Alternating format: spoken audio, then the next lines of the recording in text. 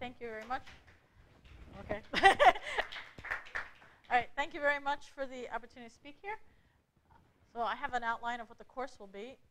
So in the first lecture, I'm just going to give an overview of um, basically what we introduced in 2009. Um, it's joint work with Stefan Wenger, and it builds upon the work of Ambrosio Kirchheim. So it'll just be an overview of what the ideas are.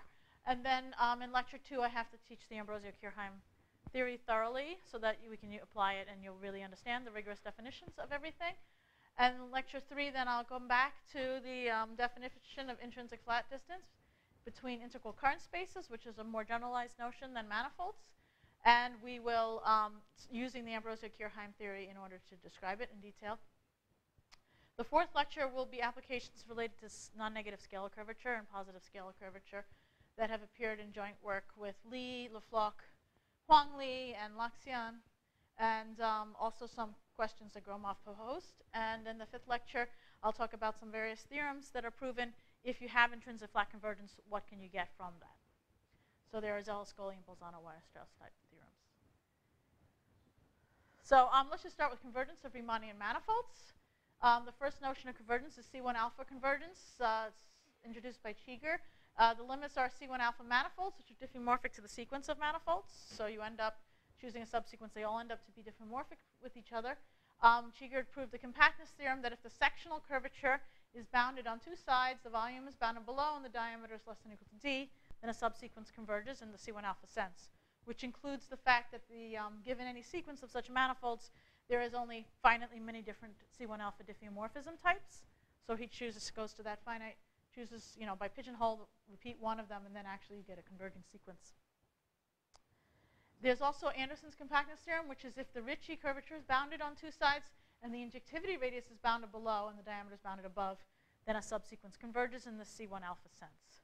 So C1 alpha convergence is saying you have a, a C1 alpha map from the one manifold to the other. It pulls back the metric tensor onto the limit space, and the metric tensors converge in the C1 alpha sense. This uh, injectivity radius bound that's required in Anderson's compactness is a consequence of Cheeger's. Yes? C1 alpha convergence is saying you have a sequence of manifolds with a metric tensor, and the manifolds change and the metric tensor changes. And then um, as a consequence of these conditions, there'll turn out to be only finitely many diffeomorphism types. So you have pigeonhole, and one will have to repeat for a subsequence. Once you're in the same class of diffeomorphism types, then what you do is you pull back the metric tensor, and the metric tensor converges to C1 alpha. Yeah. So this, they end up being C C1 alpha diffeomorphic, and the limit spaces are actually C1 alpha manifolds. So the charts are C1 alpha, not C2. okay. Right. So the, okay. So the um, injectivity radius bound in Anderson's is a consequence of Cheeger's conditions. Cheeger's conditions will give you the injectivity radius bound. And then in Anderson's case, he needs to require it because the Ricci bound loosened up the, um, the conditions too much to just have volume. All right, so that's the oldest notion of convergence for Riemannian manifolds. Um, Gromov-Hausdorff convergence um, now you take a sequence of Riemannian manifolds and you think of them as metric spaces. So you have a, a distance on them, and the distance is defined as infimum of the length of all curves. And so you have the you, you, you view your Riemannian manifold as a metric space. I will define it precisely later in the talk. Um, and uh, the limits are then just compact geodesic metric spaces. So the limit's a metric space, and it has a length minimizing curve between every pair of points. And the length of the curve is equal to the distance between the points. So that's what a geodesic metric space is. So this is perfect for Alexandrov geometry. The topology and the dimension can change in the limit, and it is not a manifold in the limit. I'll have a few pictures of what these sort of things look like. Gromov's compactness theorem only requires the Ricci bounded below by a negative constant and the diameter bounded above. There's also a version of the Gromov compactness theorem when the sequence is geodesic metric spaces, which involve counting balls which I will discuss later in this talk. Intrinsic flat convergence, the limit spaces are weighted, oriented, countably HM rectifiable spaces. So these are spaces that um, they are covered by bi-Lipschitz charts, except on measure of HM measure zero set. So they miss an HM measure zero set. Um, and the, the limits have a notion of a weight, which is integer weighted. That's why, okay, so the integer weights, and there's an orientation on all these charts. This is the class of limit spaces. And Wenger's compactness theorem says if you have a sequence of Riemannian manifolds with diameter bounded above and volume bounded above, then a subsequence converges to one of these spaces. But also, there's the possibility that the limit space is zero, which will happen if it collapses. So if it's a collapsing sequence, it loses dimension, the limit is considered the zero space. Otherwise, it's the same dimension as the sequence, and it's bi-Lipschitz charts in that dimension. I'll give this definition in detail later also. So we'll both cover Gromov-Hausdorff and intrinsic flat in detail in this talk, but the full um, rigor of the intrinsic flat needs two more lessons. So we have to cover Ambrosio-Kirchheim theory. All right, so let's start with the Gromov-Hausdorff. So in order to find the Gromov-Hausdorff, we need to know what the Hausdorff distance is. So you have two um, subsets, A and B. They're sitting inside a common metric space Z. And then you say the Hausdorff distance between them is the infimum of all radiuses such that the one set sits in the tubular neighborhood around the other, and the other set sits in the tubular neighborhood around the first. So they're both close together in the sense of taking a neighborhood around them. Or you could say if you take off your glasses, they look almost the same. Right? So they're very similar. And then um, that's for subsets sitting that already exist in a common space, but the Gromov-Hausdorff distance has to be between two separate metric spaces.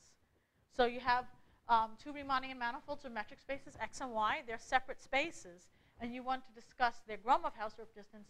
What you do is you take the infimum of the Hausdorff distance between images of them. So you take your x, you take your y, you put them into a common space z, and then you measure the Hausdorff distance. You rearrange them inside z any way you want, as long as it's a distance-preserving map. Phi and psi have to be distance-preserving maps.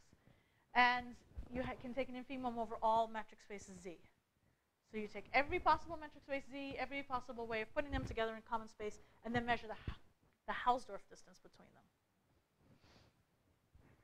So in this picture, you see, say, it could be a sequence of tori here. They're getting thinner and thinner. The Gromov-Hausdorff limit will be a ring. The way you can see this is we want to show that this space and this space go into a common space with very little um, distance between them. What you can do is you can actually just put the ring into this space itself. So this sequence space could be the z. You put them into the common space, and it, then it's roughly this distance. The thickness of that is just about the Gromov-Hausdorff distance between them. That's an upper estimate. So if you want to upper estimate the Gromov-Hausdorff, all you have to do is find a sample metric space z and a sample isometric embedding, and you figured it out. All right. Gromov's compactness theorem says this is the version that's for um, metric spaces. Okay, here you have a metric spaces xj, and they have a uniform diameter bound, and a uniform number of balls of radius r that are disjoint. So you, you, you say fix any r. If you can bound uniformly the number of disjoint balls of radi radius r that fit in the metric space, then a subsequence will converge in the Gromov-Hausdorff sense. The xj's are compact, y will be compact. Okay. The converse also holds that if y is compact, if the limit space is compact, and you have xj's converging in Gromov-Hausdorff sense to y, then there's a uniform bound on the diameters of the xj's and on the number r. And you can do that by saying, okay, if the xj's are near y, you can use the number of balls that were used to cover the y, they can then cover over onto the xj's. And then the diameter bound would also just be estimated. So everything about the definition of the Gromov-Hausdorff distance involves lengths, and so this is very natural. Sizes of balls and diameters are preserved very well under Gromov-Hausdorff. Does anyone want me to write the definition of the Gromov-Hausdorff on the board? You're all fine? Okay. Right. This is a sequence that has no Gromov-Hausdorff limit. Here, these are all spheres. They actually, in three dimensions, you can make these with non-negative scalar curvature. Okay, so these are spheres, and they have these wells all over them. And this fails to have a uniform bound in the number of balls because if you center the balls at the tips and you make them, the blue things are the balls. So these balls of radius half the length of the spines, they won't overlap. And so you get an increasing number of these balls. There's no uniform bound on the balls. So that disobeys the converse. They can't possibly have a Gromov-Hausdorff limit. However, one would like it to converge in some notion to a sphere. In fact, Tom Ilmanen proposed that he would like this partic- particular case where these were three-dimensional spheres with non-negative scalar curvature. He really wanted, for purposes of general relativity, to say that such a sequence would converge to a sphere. So he was proposing that there should be some weak notion of convergence where this sequence, when it's at least three-dimensional with positive scalar, should converge to a sphere. So that was a, he proposed that in 2004. All right. The Bishop-Gromov volume comparison theorem says that you have a Ricci bounded below and the diameter less than or equal to t. I just simplified to say non-negative. You can do it also with Ricci lower bound. And the then you end up with that uniform upper bound on the number of balls using the Bishop-Gromov volume comparison theorem. So you can count the number of balls by uh, comparing one ball inside another. Then the subsequence converges in the Gromov-Hausdorff sense. And Cheeger-Colding did a serious study on further properties that one could have on the Gromov-Hausdorff limit and uh, they proved, for example, that if you had Ricci and the volume was bounded below, below uniformly by a constant, then the limit spaces are countably HM rectifiable spaces. Actually more information than this. But you notice it's the same dimension as the sequence. Okay, because of this, the fact that they turn out to be so nice, it gives a hint as to what sort of convergence one should hope to define that, to satisfy Ilmanen's requirement. It's like, oh, well, the Ricci ones are this nice. Maybe you should have a natural notion. In general, Gromov-Hausdorff limits can have higher dimension or lower dimension than the sequence, and they certainly would not have rectifiability. Okay, it's the Ricci bound is very important for this. So to define a new notion of convergence, you'd like to use a, um, have a nice compactness theorem usable in the setting with positive scalar curvature. You want this sequence to converge to a sphere, and you think, well, why not have them be countably HM rectifiable limits? So maybe the class of spaces one should study are countably HM rectifiable spaces. That that might be the natural class of spaces to try to define a notion. And this leads to the concept of intrinsic flat convergence. Flat convergence was defined by Federer and Fleming long ago to deal with minimal surface theory. And in flat convergence, the dimension is kept the same or the limit is a zero space. And the, um, the limits are countably HM rectifiable, and they're weighted, integer weighted.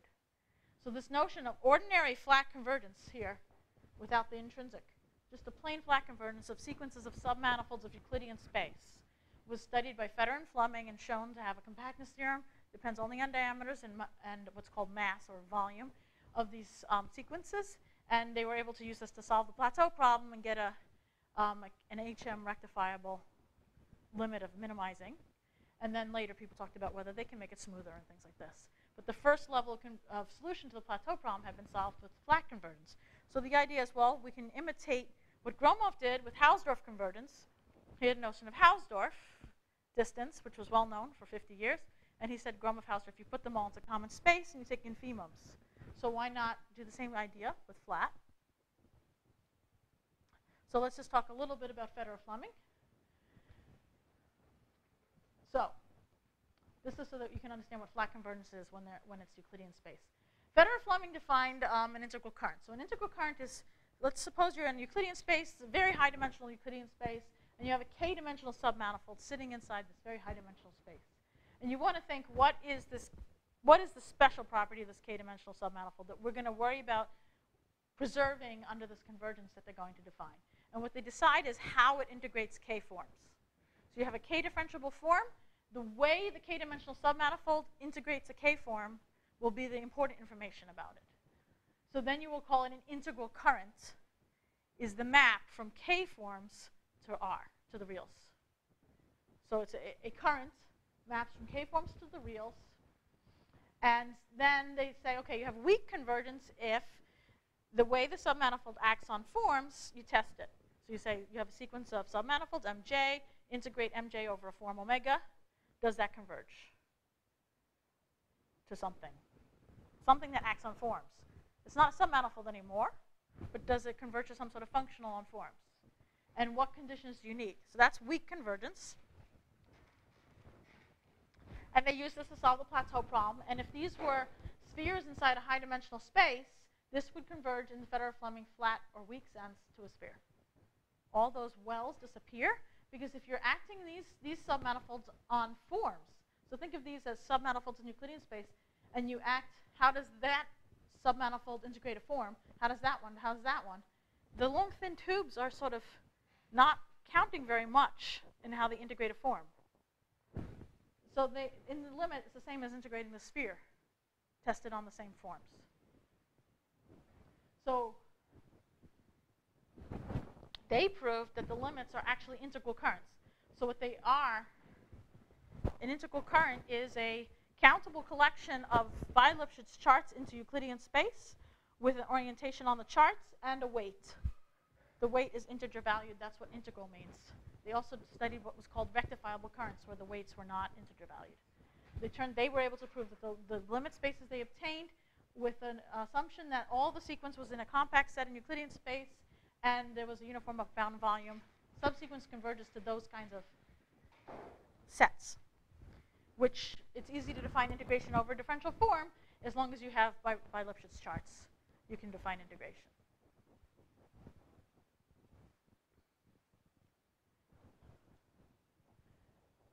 Okay, so that's a repeat of the first slide there.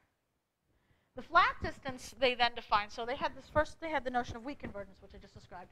But they also have a distance which coincides well with the weak convergence. So convergence in the, in the weak sense agrees with this flat convergence if they have a uniform bound on the what's called total mass.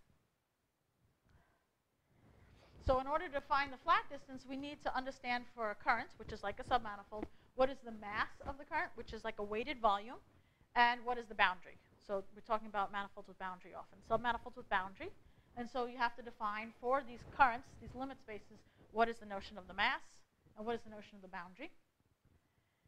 And if it's a submanifold, the mass is just the volume and the boundary is just the same as the boundary of the submanifold. And in general, they define the boundaries using Stokes' theorem.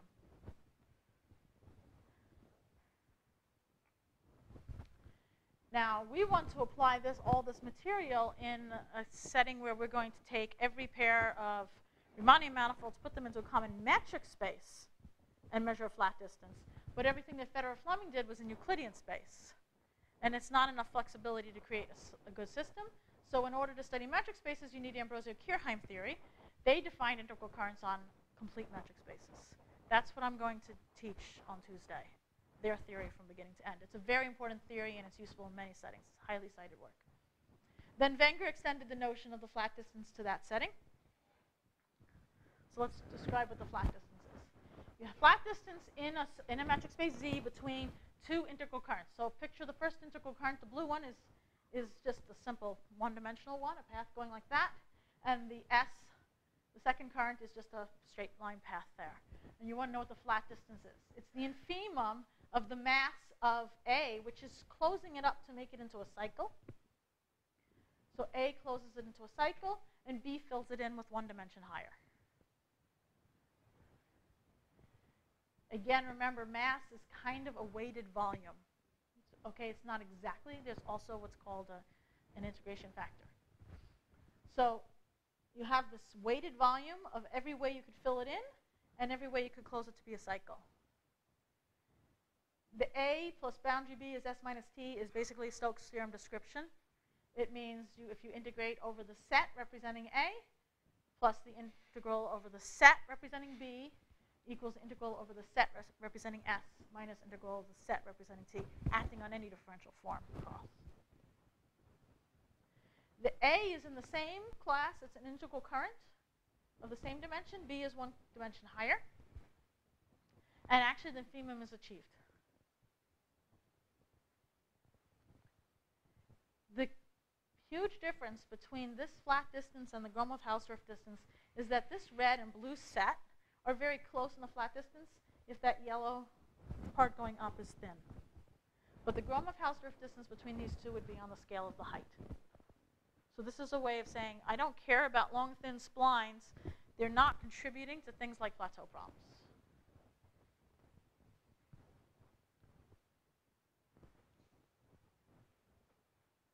All right, so now let's do the uh, flat distance between integral currents. So you have um, two integral currents. And the flat distance between them is this infimum of the two masses, such that you have this. And now, if you imagine that these are all sitting in the same space, the limit is a sphere S. If you think of the bumpy spheres TJs as lying directly on top of the sphere, and then your AJs are not needed. You don't need anything to close up the cycle because the, they are together the boundary of the region between the one sphere and the other, all those thin volumes between the spikes. So BJ is this thin region. To make an intrinsic notion, we can't allow any dependence on the embedding of the manifolds. So we imitate Gromov's intrinsic Hausdorff distance and take an infimum over all possible isometric embeddings into all possible complete metric spaces Z. So this is the Hausdorff Institute. So the Hausdorff distance is here. um, Gigli is going to be using the Hausdorff distance for the whole week, also the Gromov-Hausdorff distance. So remember it. He said he's not repeating the definition. okay. All right. All right, so the intrinsic flat distance, we take two oriented Riemannian manifolds. It's crucial that they be oriented, otherwise there's no notion of subtracting them as currents. Okay, so you take the oriented Riemannian manifolds. The intrinsic flat distance is the infimum of the push forward. So this push forward notation is just basically meaning um, you pull back the form from the other space over there. And I'll give a precise definition um, uh, tomorrow because Ambrosio Kirchheim, of course, do not have differential forms on metric spaces. So I'm hiding things under the rug right now. Pretend they're forms over there, and you can define this, all right? Infimum is taken over all complete metric spaces Z, all isometric bendings. You should think of that as distance-preserving maps, just like in um, Gromov's definition. Okay? So just exactly as in the Gromov-Hausdorff distance, these are distance-preserving maps. And then we proved, um, with joint work with Wenger, is if M and N are compact and the flat distance between them is zero, then there's an orientation preserving isometry between them. So one thing that tells you is that if there is no orientation reversing isometry on a manifold, they are completely different and their distances apart. So something like a sphere, the flat distance to its opposite orientation is zero, yeah. We actually proved the inf is realized. That's a theorem, Okay. though. Yeah, Okay, so, so, okay. yeah. So we actually do achieve the infimum, and the z can be chosen to be a countably HM rectifiable space of one dimension higher.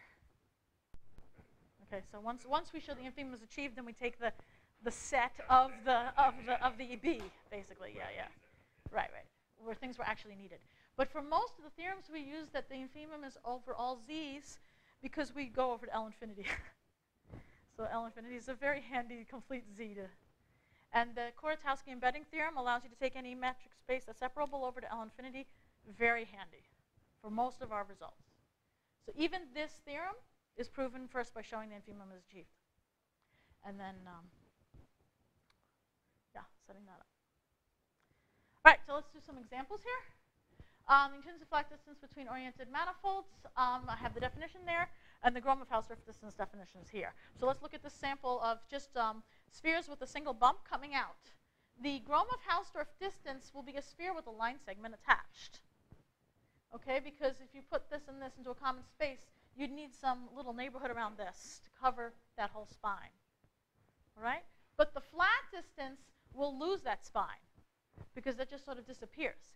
Now, there's something called the Gromov square distance, which um, says you worry about the measures too. And, um, and so in the Gromov square distance, you have a Gromov-Hausdorff limit, but then you erase anything that's lower measure.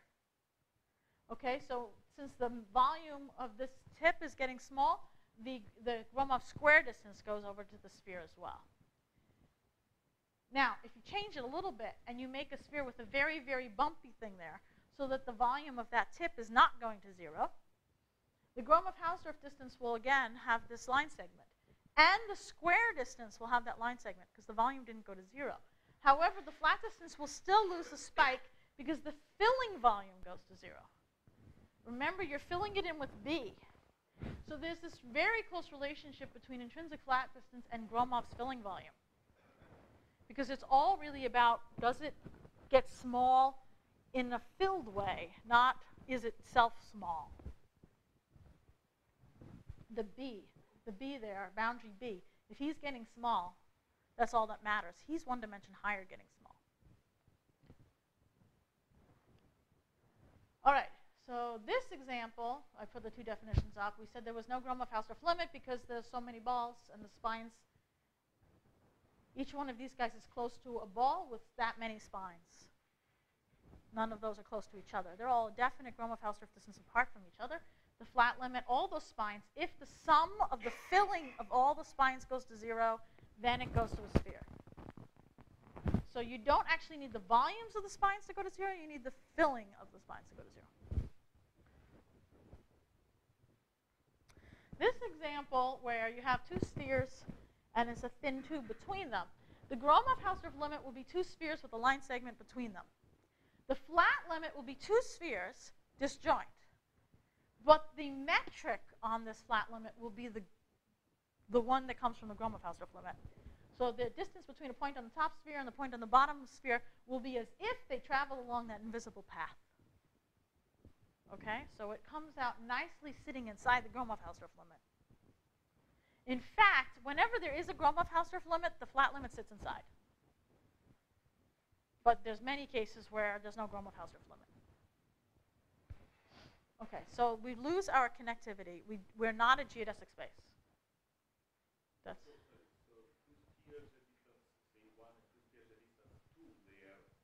different spaces. Yeah. Yeah. Or two spheres where the distance between them is not along a thread. Suppose I took two spheres in Euclidean space and took the restricted distance from Euclidean space. That's yet another integral current space. Sure. All of the, and that's an integral current space. You said before about manifolds were connected manifolds, I guess, right? Because otherwise I could. So Gromovs will stay connected and intrinsic flat will not. So Gromov-Hausdorff, one of his strongest theorems is how the geodesics converge to geodesics.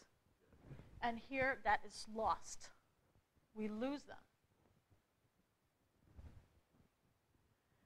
So you can have sequences like this, converging to this sort of countable. This is trying to give you the feeling of what I mean by countably rectifiable. It is covered by countably many charts. But yeah, countably many. That's how it can be countably disconnected.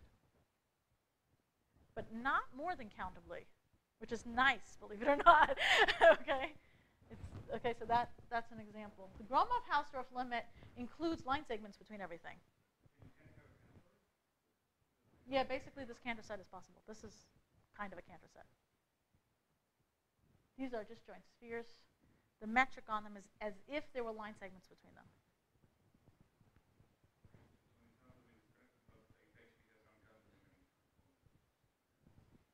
No, this one's countably many components.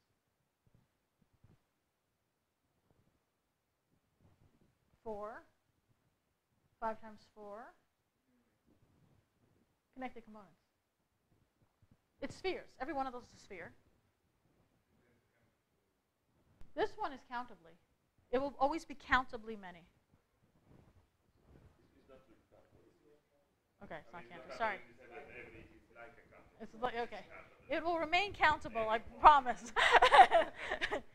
Our theorem is that it does remain countable. It is, okay.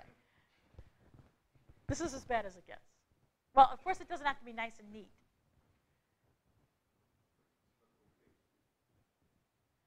That's right, they're not complete. I have a whole bunch of diagrams about that issue.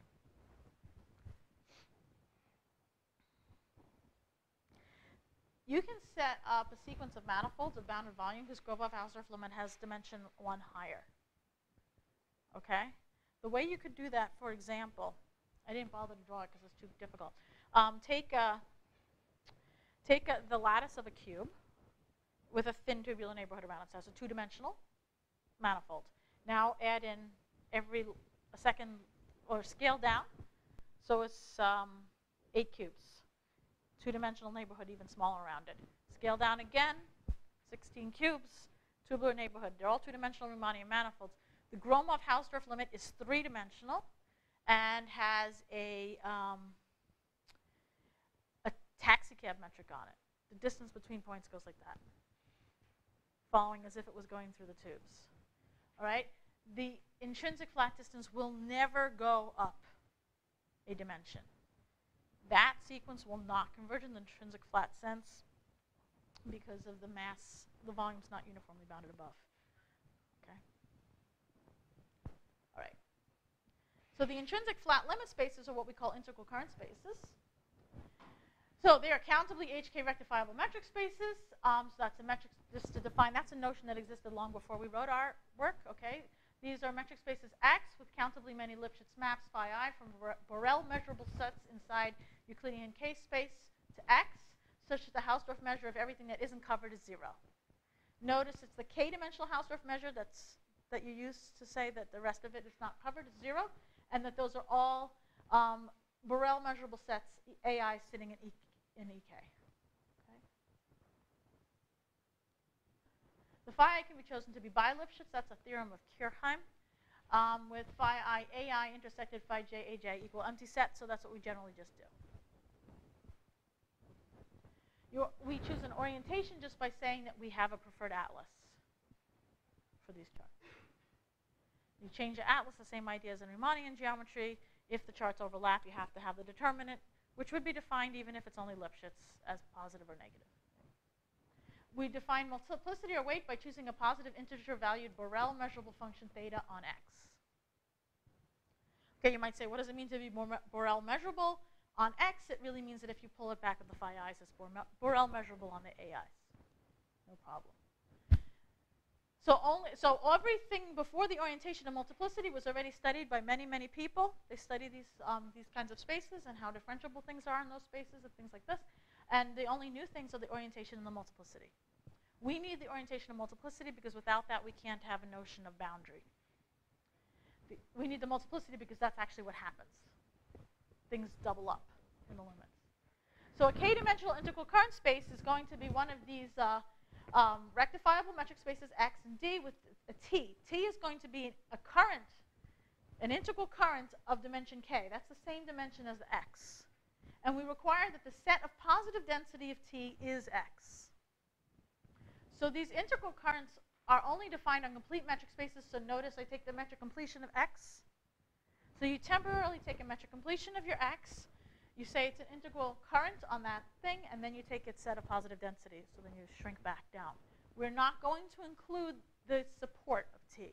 That's too large. Yeah. It's a preferred atlas of charts, which means there is a set of charts. So we choose one set, and we say that's the orientation. And if you have a different atlas, you check by saying if they overlap, that it has to have positive determinant of the Jacobian, which is defined almost everywhere for by.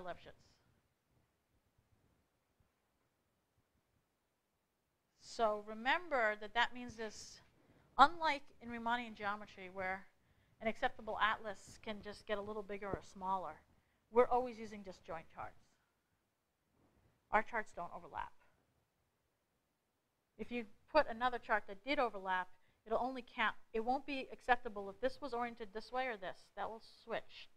The entire space is different.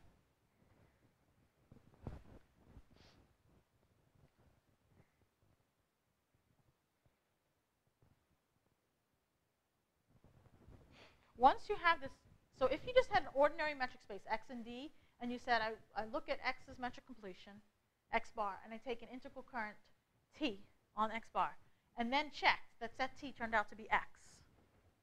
Suppose I check that. Then Ambrosio Kirchheim showed that x has all those properties.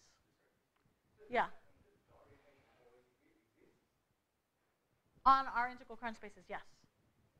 The ones that are integral current spaces that exist. I'm not saying that all countably HK rectifiable spaces, okay? right? Actually, you can always put an orientation. You just choose a chart, but it's not unique in any way. And it's not like manifolds where there's only two. It's, it's many, many, many. And you can get really bad limits. Um, you can set up manifolds that go to very badly, strangely oriented spaces. So th this list of properties that we put on the X is if you just said metric space XD, T is an integral current in the sense of Ambrosio Kirchheim on the completion of X, and you require that the set of positive density of T is equal to X, then you have he is HK rectifiable, he has an orientation, and he has a multiplicity. Okay, that comes from Ambrosio Kirchheim. T records that information.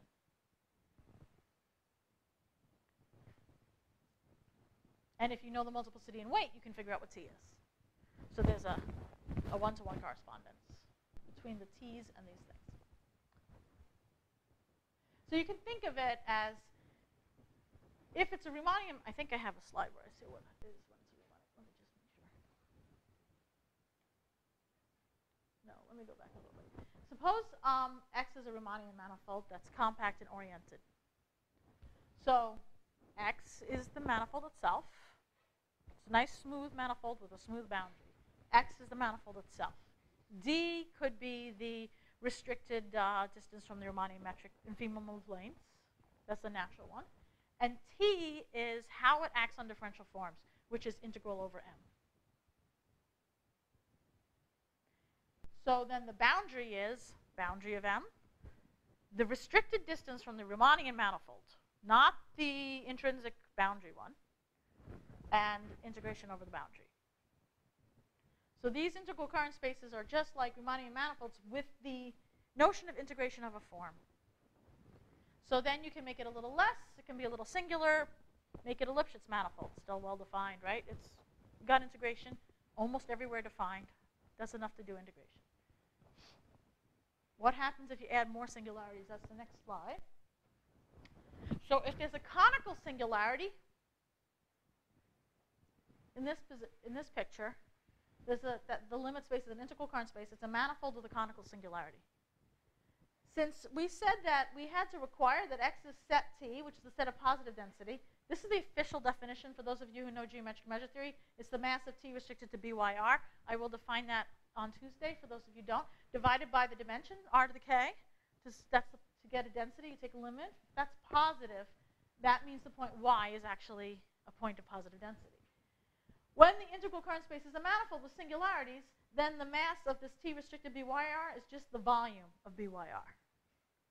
That's just the standard volume. So think of this volume with the singularity. That's a conical singularity. He has a positive limit. So that cone tip is included in X. But if there's a cusp, you don't include this point. It's empty.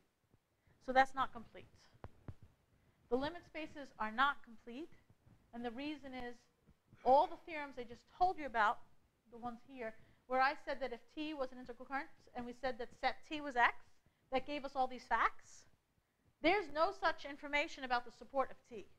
So if you wanted to make it a compact limit or a complete limit, you lose all of that. It could be higher dimensional. You lose the bi-Lipschitz charts. It's only true on the set of positive density. So that's the set you have to use to define what your metric space is. So that means that the, the intrinsic flat limit of this sequence has a cusp. That's deleted, and the Gromov-Hausdorff limit includes the cusp point.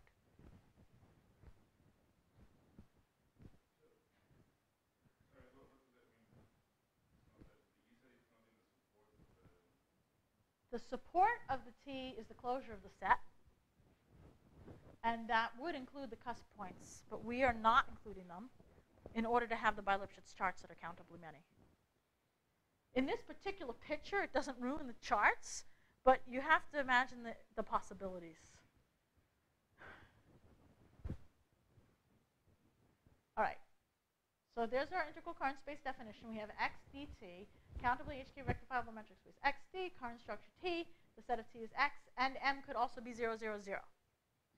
We allow that because the possibility of collapsing. Currents can be zero.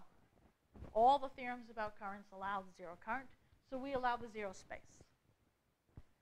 The intrinsic flat distance now has to be defined between integral current spaces, not just manifolds. So before I defined it for a pair of manifolds, now we need to define it for a pair of integral current spaces so we can truly describe what it means for a limit of manifolds to converge to an integral current space.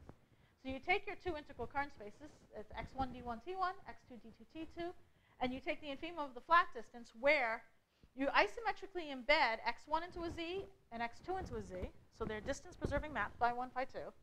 And then what you take is the flat distance between the push forwards of, of the currents. So you, you don't care about the metric except in defining isometric embedding. So the only place where D1 and D2 come in is where you're saying isometric embedding. And then after that, you're saying what you know about orientation, weight, and charts. You push forward the orientation, weight, and charts, and now you compare them with the flat distance. Yeah. And we proved that if the flat distance between two integral current spaces is zero, there's a current preserving isometry. So f from x1 to x2 preserves distances, and the push forward of the t1 is t2. This is actually the theorem we proved. This, and then we said, what's the consequence for Riemannian manifolds? That meant that the orientation was preserved. The weight was also preserved, but for Riemannian manifolds, the weight is 1. The standard weight would be 1. Okay, if they're oriented Riemannian manifolds with boundary, then the orientation goes and the boundaries orientation goes and everything maps nicely. This theorem needs x to be set t. If you allow your x to be different things, then it doesn't really tell you anything. The same thing with Gromov-Hausdorff distance. The Gromov-Hausdorff distance between two compact metric spaces is zero. Says that the two compact metric spaces are um, isometric. But if you allow one of them to have missing points, the Gromov-Hausdorff distance could be zero. We are saying there's, we can have missing points, but they have to be exactly a certain way. It has to be the set. All right, so here's this picture again, which the, the Gromov-Hausdorff distance had the lower dimensional line segments. Um, we can actually construct sequence Riemannian manifolds with a uniform upper bound and volume which converge to an integral current space whose completion has higher dimension. So similar to what I said before where you take those tubes. It's, it's very hard to, to draw this, but you can do it. okay? You, you can make a sequence of Riemannian manifolds. The Gromov-Hausdorff limit is higher dimensional.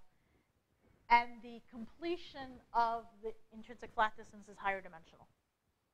But the actual intrinsic flat limit is the same dimension as the sequence. It, it comes from making a, a mess like this, but in a, in a filling kind of way that sort of really crowds everywhere. I couldn't possibly draw it. It's in our, it's in our paper, though. Okay. Maybe write it out, what it is, right? Okay.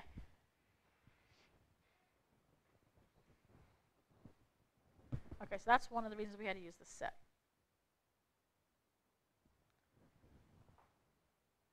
All right, now suppose you had a sequence of MJKs, your oriented Riemannian manifolds, and the volumes bounded above and the volume of boundaries bounded above. And suppose that they converge in the Gromov-Hausdorff sense to Y.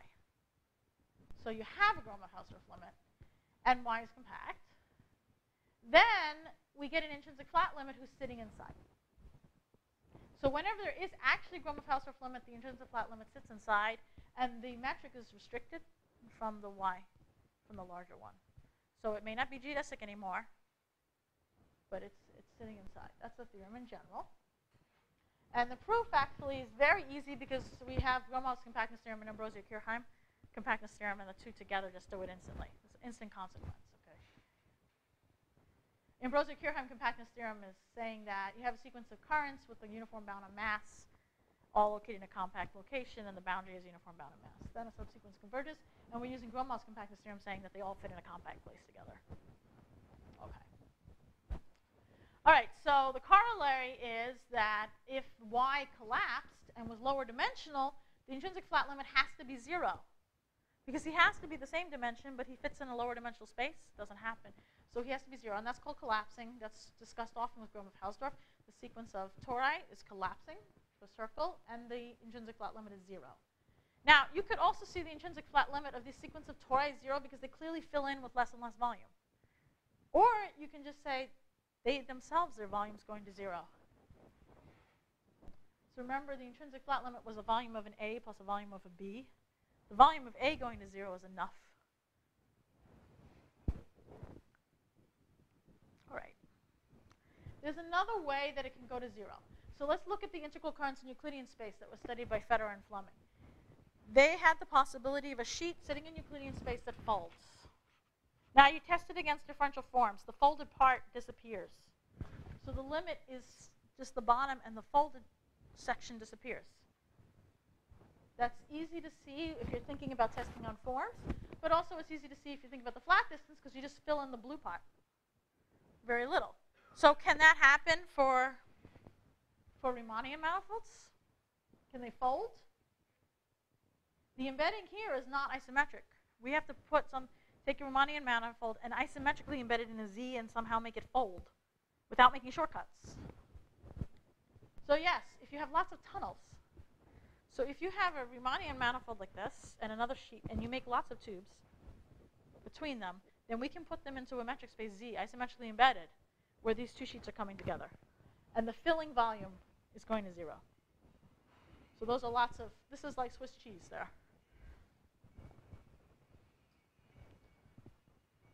So we have this example. Interestingly, this example can be done in three dimensions with non-negative scalar curvature. With non-negative scalar curvature. It can be done because you can use what's called Gromov-Lawson tunnels, wormholes, if you think, or um, you could call them Cheignac tunnels, also, depending who's in the audience. okay. anyway, um, anyway, so that that sort of example, the, the, in order to make these get closer and closer together, you actually have to increase the number of tunnels and make them denser and denser. So to avoid cancellation, what can you do? So Gromov and Greene-Petersen studied the situation, um, how do we avoid making a small filling volume? Because that's really what this is about.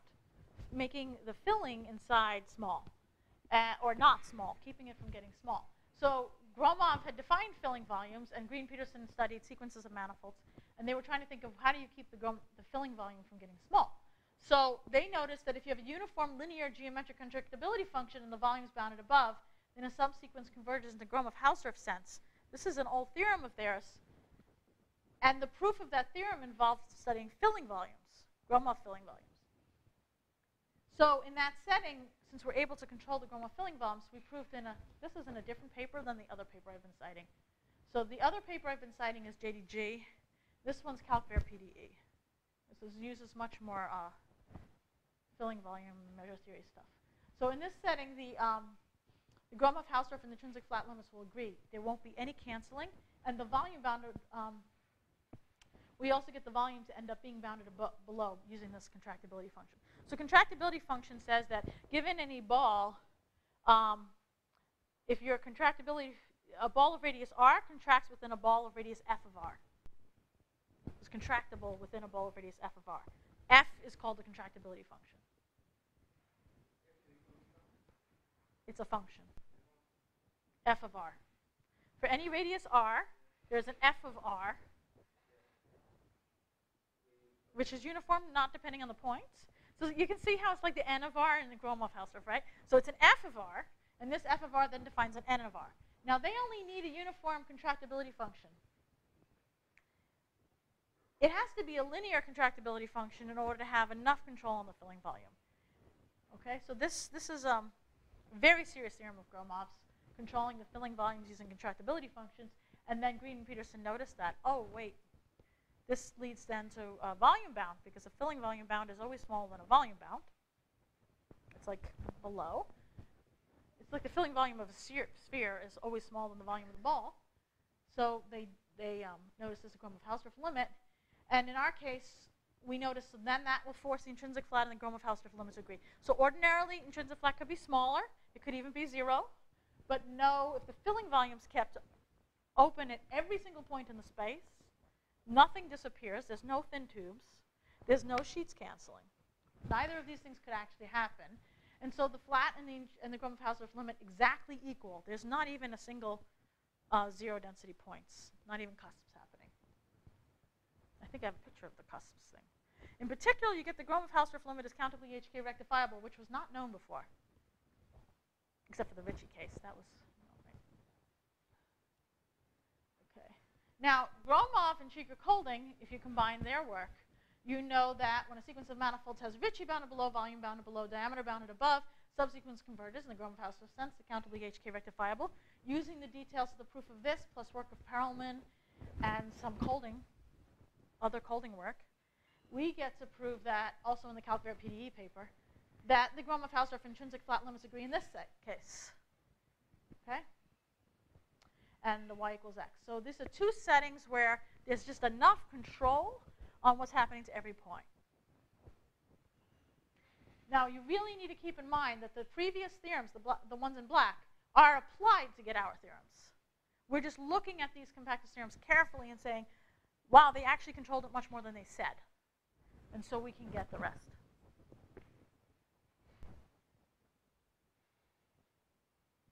Um, Meng, Menguy proved that um, there's no uniform geometric contractibility in the Ricci case, so it's not a consequence. So if you have Ricci bounded below, you can have arbitrarily small, tiny holes, if it's four-dimensional enough anyway. The, the Menguy examples are four-dimensional. I actually have a picture of his example. Sort of picture, whatever. Go next. All right, so we have time here. The examples with positive scalar curvature that I mentioned, that we have um, this possibility of making tubes with positive scalar curvature in dimension 3 and up. Um, so we have a sequence of manifolds with positive scalar curvature. You take two, um, two standard spheres, and you make these tubes between them. You make increasingly many, increasingly dense, increasingly tiny tubes, and the Gromov-Hausdorff limit will still will be a single S3 because they're within tubular neighborhoods of each other. But the intrinsic flat limit is zero because they came together. Right? So standard spheres with these Gromov-Lawson tunnels between them.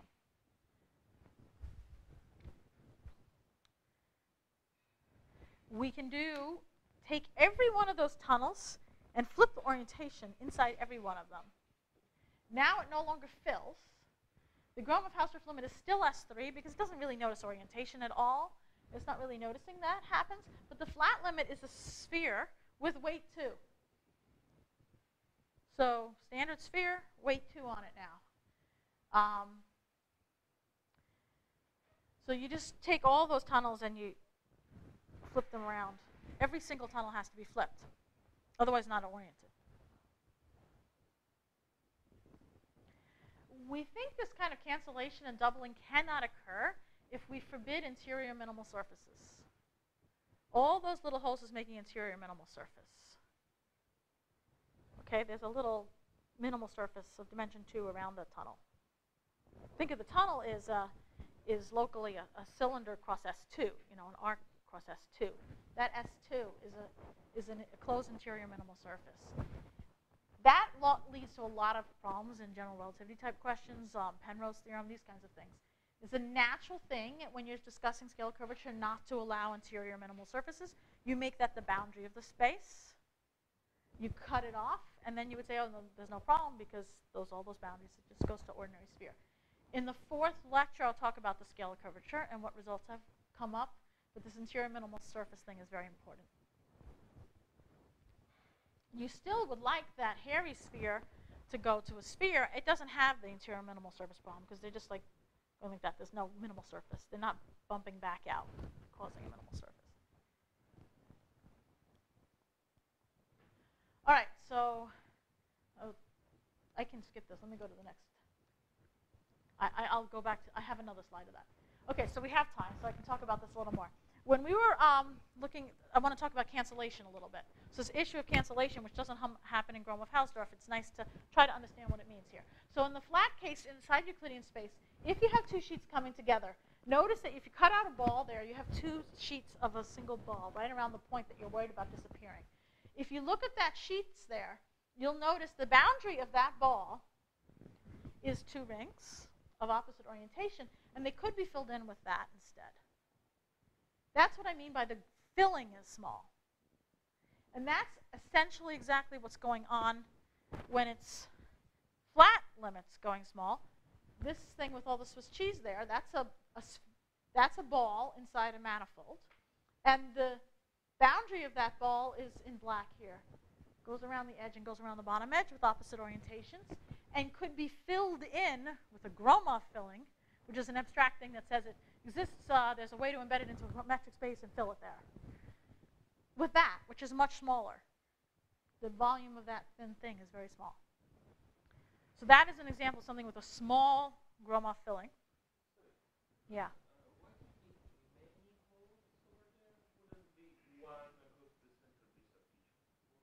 No. Because it won't isometrically embed into a common space. Oh, one thing to keep in mind, if you have, say, here's two sheets, right? And now we make some holes like this. We go from the one sheet to the other.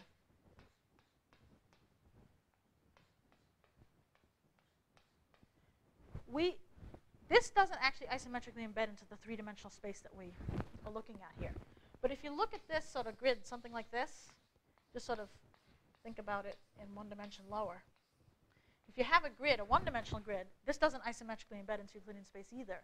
But what it embeds into is like a keyboard space that looks like a keyboard, where there's a button on every one of these.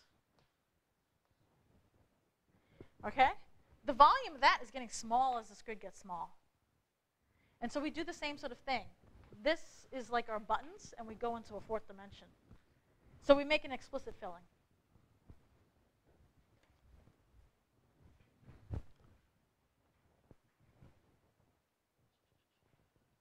Oh, to make all this rigorous about what we mean by saying that the filling volume is small, we have to use a very powerful theorem of Ambrosio-Kirchheim called the slicing theorem, which talks about if you have level sets of Lipschitz functions and how they behave under convergence. So I just want to give them credit there. To make all this rigorous, we need their work. All right, so Greene-Petersen have this contractibility function. This is that I mentioned before. This is the actual definition, that the ball BPR is contractible in BP rho of R. Okay, then volume BPR is greater than equal to V of R, which is actually made very precise in their theorem. Okay, uh, they get a uniform function V of R, and then that counts us, gives us a number of R, N of R, and that allows us to have a Gromov-Hausdorff limit. If the rho is linear, then we can get that the x and the y agree, that the Gromov-Hausdorff and the intrinsic flat limits agree. So we get a Gromov-Hausdorff countably HK rectifiable as a consequence and Schul and Wenger made an example to show that if it's not a linear contractibility function, they construct a sequence which has a Gromov-Hausdorff limit, but it's not countably rectifiable. Okay, so Schul is um, geometric measure theorist, and he, he knows how to make these terrible spaces. okay. One more time. This is just to give you a picture of what linear contractibility looks like. If it's a cone tip, these are nice and linear contractible. That first ball drawn there contracts in twice the radius, pulling over the tip. That one too, in twice the radius. It's a very conical thing to say linear contractibility. So these sequen this sequence here is all linearly contractible, and the limit is a conical space. The Gromov-Hausdorff and the flat limit agree, they have no holes. If you have a, a cusp, this guy, the first ball needs twice the radius to contract, but that one needs four times the radius to contract. That one needs eight times the radius to contract. It's not a uniform, it's not a linear contractibility function. The smaller the r, the bigger the rho of r has to be. And in that case, the flat limit disappeared. It lost that point. Now, there's a nice thing, which is to say, if you wanted to say, oh, this linear contractibility function over there away from that point, uh, well, yes. Points where there's a nice linear contractibility, they stay. Only that one bad point is causing all the trouble. So you can keep track of what disappears or not in this way.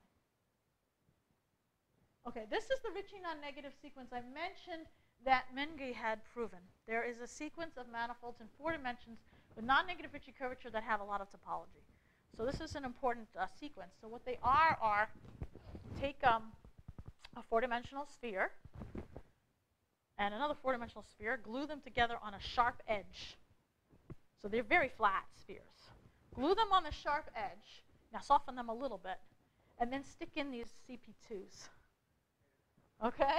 That's all those little um, CP2s I drew there. There are four CP2s in the first one, and there's eight in the next, and so on. So you can make more and more CP2s. This is Menguy's construction. And the Gromov-Hausdorff limit is just this this nice sharp-edged, sharp-edged thing. So that's not uniformly contractible. So what can you do? Um, so we show that even so, we're going to have the intrinsic flat and the Gromov-Hausdorff limits agree. I don't think I can do this whole proof right now. So yes, I did that. so I didn't give it to you. Okay. So what we had to do is we first looked at the points that were away from those bad things. We showed that most of them are nice because Cheeger-Colding showed almost everywhere is nice. And then after we get almost everywhere is nice, we do density arguments. Okay. So anyway, this is what's going to happen for the rest of the sequence.